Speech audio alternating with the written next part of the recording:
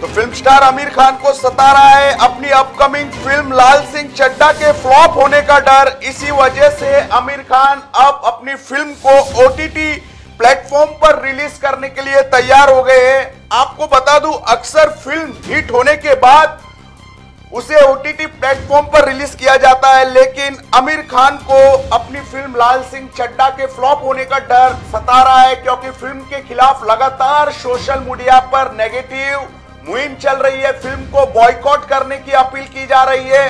हालाँकि आमिर खान ने लोगों से अपील की कि उन्हें देश से प्यार है और उनकी फ़िल्म को बॉयकॉट ना करे लोग, लेकिन फिर भी फ़िल्म के खिलाफ लगातार सोशल मीडिया पर नकारात्मक मुहिम चलाई जा रही है और बॉयकॉट फ़िल्म लाल सिंह चड्डा के करने की मांग की जा रही है लगातार बॉयकॉट करने की मांग की जा रही है। फ़िल्म लाल सिंह चड्डा को इसी वजह से शायद अब आमिर खान को फ़िल्म के फ्लॉप होने का डर सता रहा है।